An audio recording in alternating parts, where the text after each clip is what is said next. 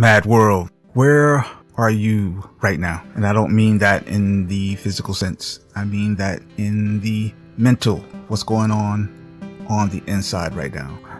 In the current atmosphere of the world we're in, a lot of confusion, a lot of chaos around us, a lot of uncertainty. Where are you right now in, uh, in terms of all of this, everything that's happening right now? Where are you? Are you centered? Are you focused? Are you balanced? How do you know that? What is your method for understanding the outside world right now? What is your method for understanding you? The choices that you make, the actions you take. How do you know that you're just not responding to outside influence? How do you know that inside voice that you hear? How do you know if that voice is your voice?